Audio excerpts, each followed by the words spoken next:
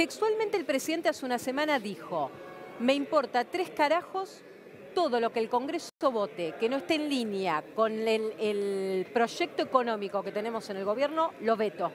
O sea, que todo lo que ustedes hagan hoy, de tener sanción y de pasar al Senado y hacerse ley, el presidente dijo que lo veta.